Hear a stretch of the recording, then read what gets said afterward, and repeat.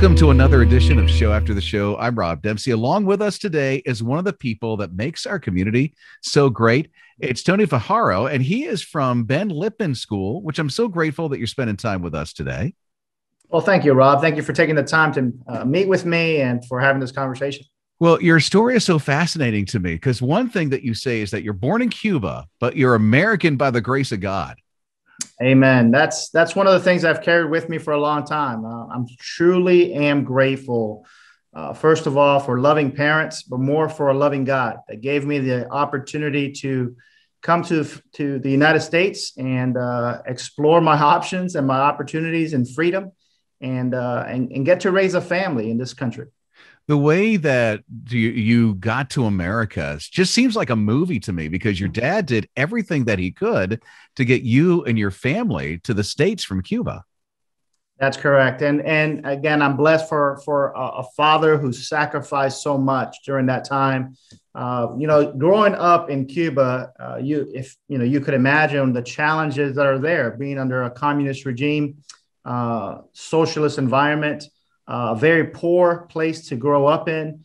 Uh, but my dad uh, always had a dream, and the dream was that when he had children, he wanted to get them to freedom and give them the opportunity. And I had two older sisters. Uh, he was not able to get them out as quickly as I, as, as myself. Hmm. Um, but my dad was imprisoned under the Cuban regime uh, for several years uh, because he spoke out against communism and spoke out against that those challenges. And so uh, growing up during that time when I was born, uh, my dad said, I, need to get my son out of the country. Uh, my grandparents had left uh, Cuba already and had moved to the United States right before Fidel Castro took over. And so uh, he went through several, several challenges in getting us over to the United States. And, uh, and one of those challenges was the idea that he had to be able to make choices. And one of those choices was the idea do I put my son, send him through the embassy and just hope that he can get to the United States?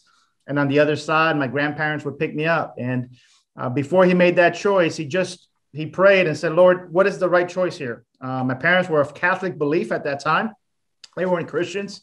Um, but one of the chance that the things that he said is he just couldn't do it. He had to take a step back and could not do it. Um, we moved forward from that. And then another opportunity was uh, early, uh, late 1970s, uh, early, uh, right before 80, uh, my dad and my mom uh, really had the opportunity to jump on a raft and get us out of Cuba across the ocean, which is a travel that many Cubans have made and not been successful over the yeah. years, as many stories have come through where many have died in the ocean, unfortunately, just seeking freedom. Um, again, the plan was set. They were going to go and he just could not do it. He just felt there was a better way. In 1980, during the Mariel boat lift, um, the Mariel Harbor, uh, Fidel Castro opened up the Mariel Harbor to let anyone that wanted to exile Cuba and leave to the United States. He had a goal in mind during that time, and that goal was, first of all, to clear his prisons and send everyone out to the United States during that time. And so those are the first people that boarded the boats. And then those that wanted to leave the the the island uh, could also jump on the boat and that was another option for my parents uh, but my mom got on the boat and my dad was holding me and at that moment he just couldn't do it. So he got my mom off the boat uh, waited now it was 1980 and 83 we received a visa from the united states uh, to travel freely to costa rica. We felt we stayed there in costa rica for a year waiting for an additional visa and we came to the united states and i celebrated my sixth birthday in freedom. Wow, amazing. All between the ages of five and six, this epic story that's in your life. But that even continued. I mean, you you grew up, you went to school. Uh, there was a teacher that noticed how athletic you were. Hmm. Absolutely, and and you know the challenges started before that, uh, and the blessing was the teacher himself. But you know, one of the challenges for us was obviously the language barrier. My mom and dad uh, didn't know any English. They worked 24 hours a day, seven days a week to put food on the table. I remember the stories of uh, even going with my mom on Saturday mornings as a six year old uh, at that time to the shopping center to move carts around, which people do today uh, to get paid for that. But my mom would get a dime for every cart she picked up from the parking lot. Mm. And I would help her do that. And then I also remember the buses dropping me off at the local hospital where my mom worked. And my mom cleaned bathrooms and floors there to try to help the family out. And the way I learned English, and I still cha- have challenges sometimes, even as an adult, but the way I learned English and how to write and spell were because the doctors and nurses at that hospital spent time with me when I got there after they had already put a full day's work in helping me do my spelling words, helping me write my paragraphs while my mom was cleaning the bathrooms. And so I have a, a, a tremendous passion for those that serve in the medical field mm-hmm. uh, because of the impact they had on me. But moving forward to that, and then in the local public school, here's a young man who struggled with language all the way through.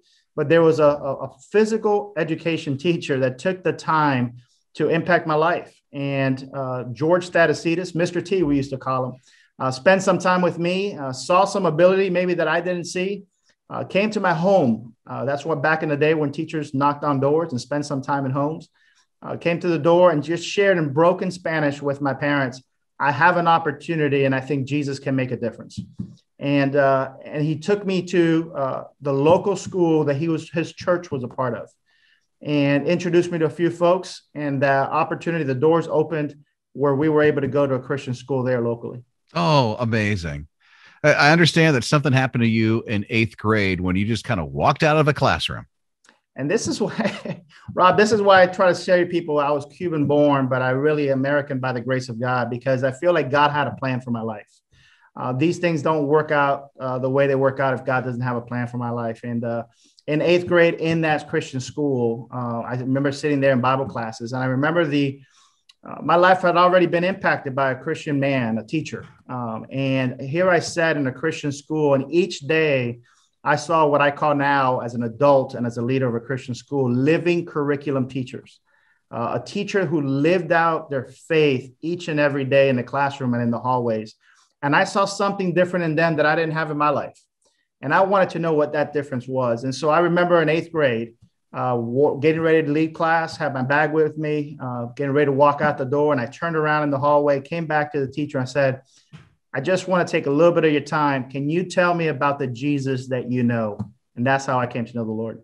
Amazing. And it was a teacher. Fast forward, here you are, the headmaster of Ben Lippen School.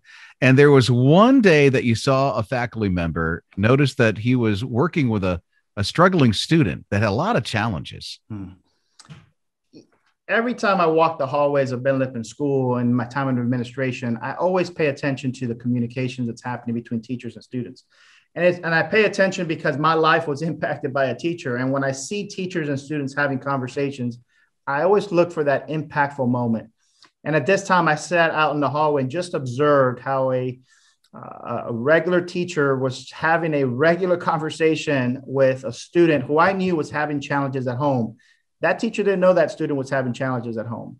But that conversation turned into a time of prayer. Uh, and that conversation turned into a time of a teacher uh, just telling a student, I'm here for you if you need me. Later on, that student came back around and, uh, and, and, and thanked that teacher. And that student came back. And by the end of that year, by the time he finished here, uh, he was able to, first of all, he had an opportunity to know the Lord. Um, his life completely changed around. He got some help where he needed some help with. Um, and to this day, he'll come back and thank that teacher for that opportunity and that conversation. And you remembered that so well because you walked through those shoes of a student. That's correct. I oh, made that man. I made that connection because that that reminded me of who I was when I was a young person. Yeah, Tony's from uh, Ben Lippen School. You can find more information about enrollment and open house that happens every day. You can request a personal tour uh, and uh, and see what Ben Lippen School is all about. We've got the links right here available for you on the show after the show page. We're going to have another episode with uh, Tony coming up here very soon. And thank you for joining us for show after the show. We'll see you next time.